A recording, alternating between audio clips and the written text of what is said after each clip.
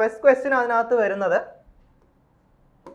what is the accuracy reading accuracy of an engineer steel rule അതായത് engineer steel റൂളിന്റെ accuracy എന്താണെന്നുള്ളതാണ് so ഇതിനകത്ത് വന്നിരിക്കുന്ന option A point zero zero five M M point zero five M M point five M M and five M M അപ്പം ഇതാണ് options ഇതിനകത്ത് correct answer എന്ന് പറയുന്നത് പോയിന്റ് ഫൈവ് എം എം ആണ് എഞ്ചിനീയേഴ്സ് റൂളിന്റെ റീഡിംഗ് ആക്യുറസി എന്ന് പറയുന്നത്.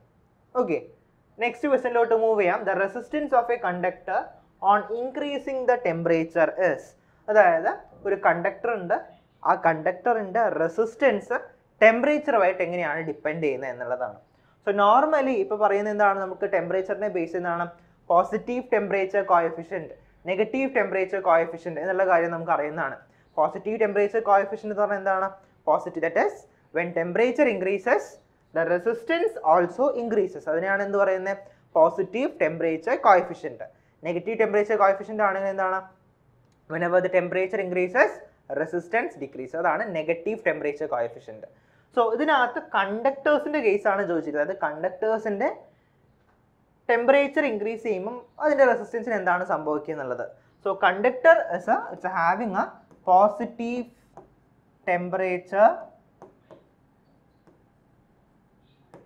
coefficient positive temperature coefficient ആണ് എന്തിൽ വരുന്നത് നമ്മളുടെ കണ്ടക്ടേഴ്സിന് വരുന്നത് പോസിറ്റീവ് ടെമ്പറേച്ചർ കോയഫിഷ്യന്റ് ആണെങ്കിൽ when resistance increase resistance increase ചെയ്യുമ്പോൾ ദാറ്റ് ഇസ് ടെമ്പറേച്ചർ ഇൻക്രീസ് ചെയ്യുമ്പോൾ റെസിസ്റ്റൻസ് ഇൻക്രീസ് അതായത് ഡയറക്റ്റ് പ്രപ്പോർഷൻ ആണ് വരുന്നത് സോ ആൻസർ നോക്കി എന്താണ്? Resistance of a conductor on increasing the temperature എന്തായിരിക്കും?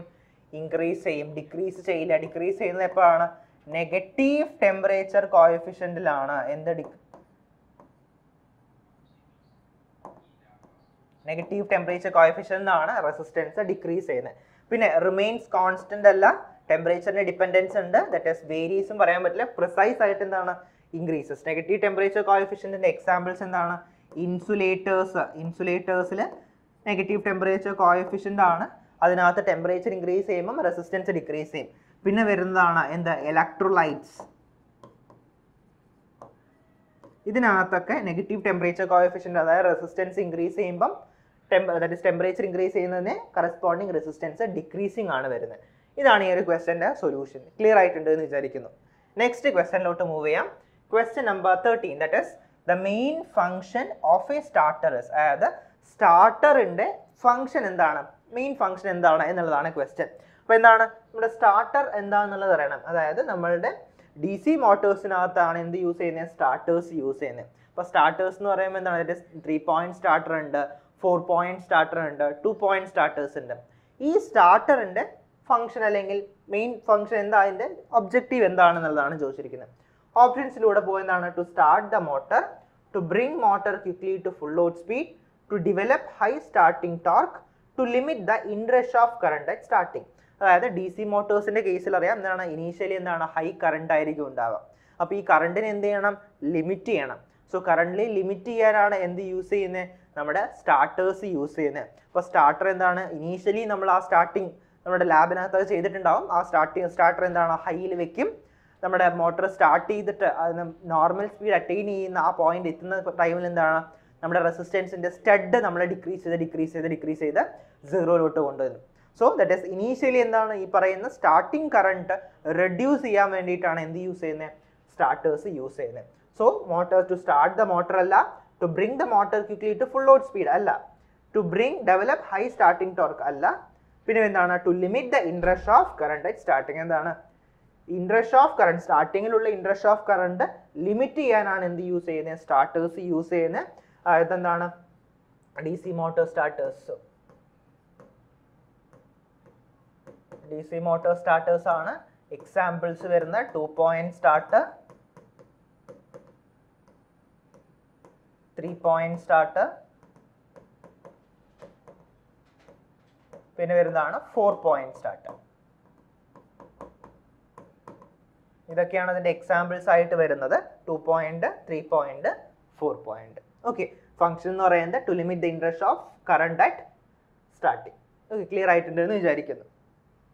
Next question question number fourteen which one of the following lamp is commonly used in cinema projectors അത് cinema പ്രൊജക്ടേഴ്സിനകത്ത് use ചെയ്യുന്ന lamp ഏത് ടൈപ്പാണ് അപ്പോൾ ഈ ഒരു ക്വസ്റ്റ്യൻ ഇലുമിനേഷൻ എന്ന് പറയുന്ന ടോപ്പിക്കിൽ നിന്ന് വരുന്ന ഒരു ക്വസ്റ്റ്യൻ ആണ്. സ്ഥിരമായിട്ട് ചോദിക്കുന്ന ക്വസ്റ്റ്യൻ ആണ്. സിനിമ പ്രൊജക്ടേഴ്സിൽ യൂസ് ചെയ്യുന്ന കൈൻഡ് ഓഫ് ലാമ്പ് ഏതാണ്? ഓപ്ഷൻസ് നോക്കാം. ഇതാണ് neon lamp carbon filament lamp carbon arc lamp tungsten filament lamp അപ്പോൾ നോർമലി സിനിമ പ്രൊജക്ടേഴ്സിൽ യൂസ് ചെയ്യുന്ന ലാമ്പ് എന്ന് പറയുന്നതാണ് കാർബൺ ആർക്ക് ലാമ്പാണ് സിനിമ പ്രൊജക്ടേഴ്സിൽ യൂസ് ചെയ്യുന്നത്. സോ നമ്മുടെ ആൻസർ എന്ന് പറയുന്നത് ഓപ്ഷൻ സി ആണ്. കാർബൺ ആർക്ക് ലാമ്പ് ആണ്. നിയോൺ ലാമ്പ് അല്ല. കാർബൺ ഫിലമെന്റ് അല്ല. ടങ്സ്റ്റൺ ഫിലമെന്റ് അല്ല. So option C is the correct answer next question എന്ന് പറയുന്നത് what is the function of a centrifugal switch അതായത് സെൻട്രിഫ്യൂഗൽ സ്വിച്ചിന്റെ ഫംഗ്ഷൻ എന്താണ് എന്നുള്ളതാണ് ക്വസ്റ്റ്യൻ അപ്പോൾ സെൻട്രിഫ്യൂഗൽ സ്വിച്ച് വരുന്നത് എവിടെയാണ്? ഈ പറയുന്നത് പോലെ നമ്മളുടെ ഇൻഡക്ഷൻ മോട്ടോഴ്സിനകത്താണ് വരുന്നത്. Induction motor single phase induction motors എന്ന് പറയുന്നതാണ് സെൽഫ് സ്റ്റാർട്ടിംഗ് അല്ല. അപ്പോൾ അത് സെൽഫ് സ്റ്റാർട്ടിംഗ് ചെയ്യാൻ വേണ്ടിയിട്ടാണ് നമ്മൾ എന്ത് യൂസ് ചെയ്യുന്നത് നമ്മളുടെ ഒരു മെയിൻ വൈൻഡിങ് ഉണ്ടാവും അതുപോലെ തന്നെ എന്താണ് ഒരു ഓക്സിലറി വൈൻഡിങ് ഉണ്ടാവും.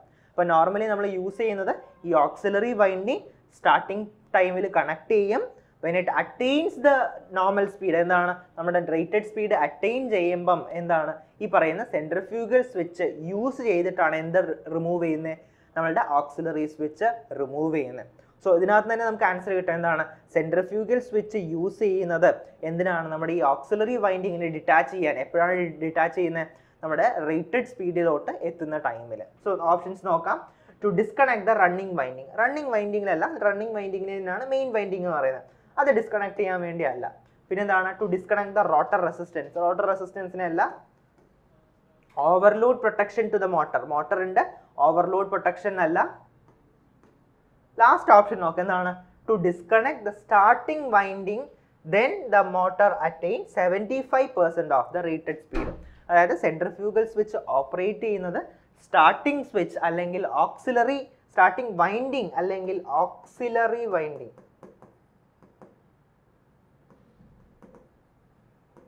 starting winding or auxiliary വൈൻഡിങ്ങിനെ എന്ത് ചെയ്യാൻ? റിമൂവ് ചെയ്യാൻ. എപ്പോൾ റിമൂവ് ചെയ്യണം? That is when the motor attain seventy five percent of rated speed ഏത് മോട്ടറാണ് അഗെയിൻ പ്രിസൈസ്ലി പറയുകയാണെങ്കിൽ induction motor that is single phase induction motors so option D is the correct answer clear ആയിട്ടുണ്ടെന്ന് വിചാരിക്കുന്നു.